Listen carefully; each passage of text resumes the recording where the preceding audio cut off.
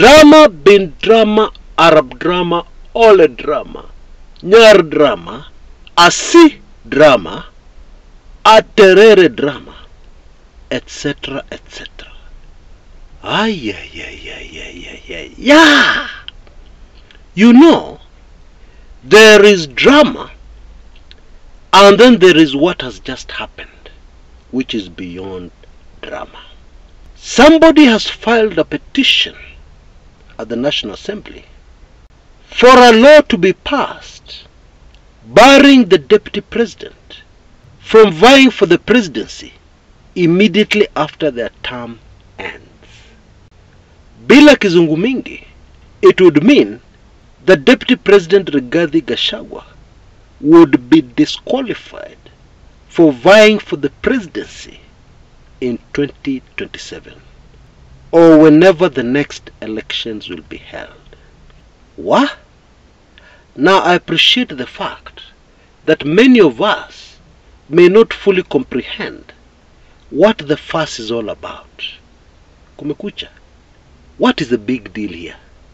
You're saying this thing is beyond drama. What do you mean? Let me explain. Point by point. Point number one.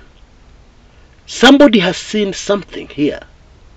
Yeah, of, of course, Ruto handlers, which the rest of us have not seen. I'll come back to that in a minute because I think I know what they have seen.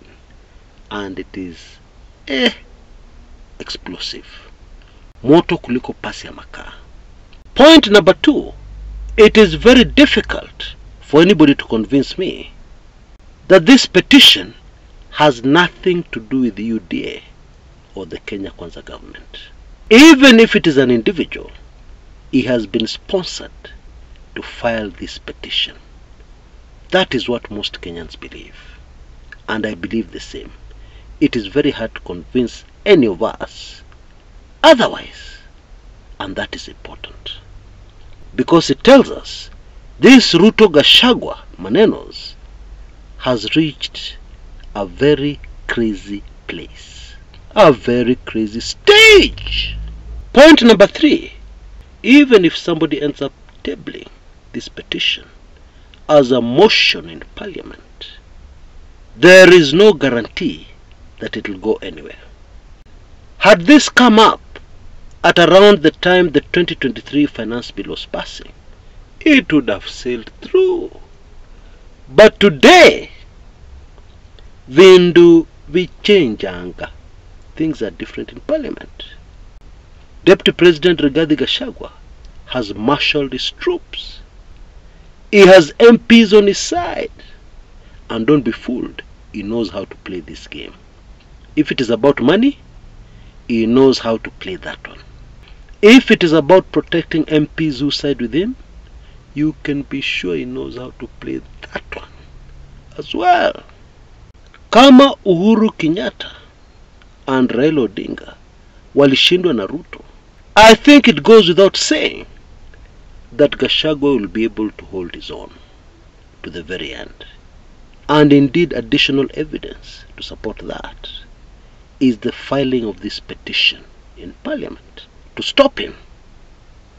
But let us revisit point number one so that we all understand the full weight of what is going on here.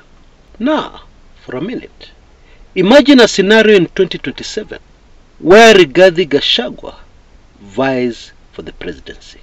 Okay, I want you to think a little deeper about this one. I'm not talking about Gachagua winning the presidency. No. I want you to look at this in another way. Mount Kenya fielding a major candidate, Rigathi Gachagua.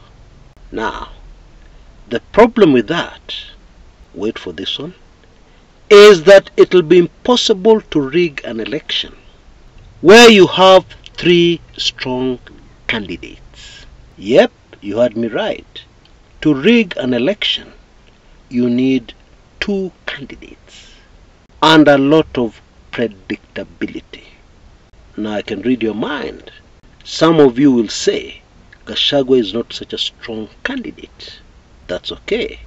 However, I want you to remember that when a tribe fields a presidential candidate, everything changes. And Mount Kenya has the numbers. And so if even Bonagashagwa gets half of the votes cast, it'll be a substantial amount of votes and it'll mess up everything. Especially for somebody who wants to rig themselves back into power. I want us to look at another scenario.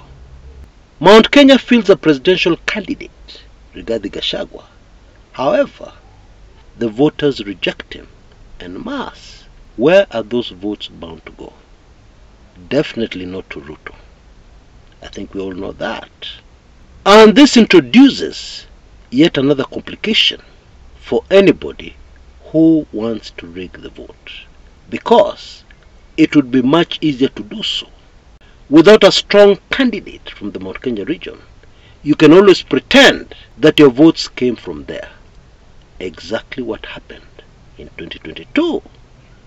But with a presidential candidate from the region, that becomes very difficult to pull off.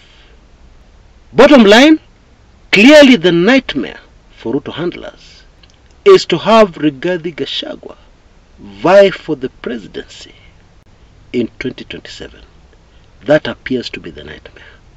And I've already given you quite a few reasons why somebody should have a nightmare over Rigathi Gachagua's candidature for the presidency. You know, I wish this had been tabled in parliament when Uhuru was president and Ruto was deputy. Although, admittedly, it would have gone nowhere. Ruto already had grabbed parliament when Uhuru was still president. He still had his majority in the house. Not only that, there is another hiccup that even affects this latest petition, yeah, targeted clearly at Gachagua. And that is, will this stand up to our constitution? I don't think so. In my view, even if it is passed by parliament, it will be very easy for, somebody to go to court and get it declared null and void. Although one cannot rule out the possibility of people using their power to bully the judiciary and have their way. But still, it is a law that cannot stand the constitution and cannot stand the test of time. You cannot prevent anybody from vying for any position in the country called Kenya. That is a tall order. Let's just speak the truth.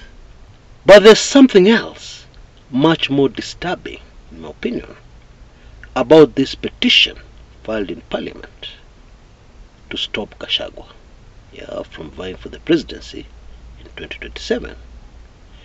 In my opinion, I smell a rat and I smell the involvement of powerful forces which may not be necessarily Kenyan. You know an international fixer who fixes political problems for a client? This is exactly the kind of thing they would come up with. And then work very hard to remove all obstacles to see it through. Yeah through even the judiciary system which is exactly what happened in August 2022 somebody removed all the obstacles including the Supreme Court and somebody became president. Let us not fool ourselves. What happened in 2022 was not something that is easy to pull off. It required a lot of work. It required the pulling of a lot of strings to make it work. And this is yet another reason why I would recommend to those who are in a position to make sure that they get hold of my very latest, highly sensitive special report, Terrible Secrets of Uncle Sam in the country called Kenya. Now you can see details on your screens right now. You have an opportunity of getting only this special report at Kenya shillings 3,999 as opposed to getting a package of this report and all previous highly sensitive special reports. Yeah, for Kenya shillings 4,999. So, please take your pick and act fast because this particular offer is in the stage we call in Kenya kipindi cha lala salama. It is almost coming to an end. So please act fast. Until next time, this is Chris Kumekucha.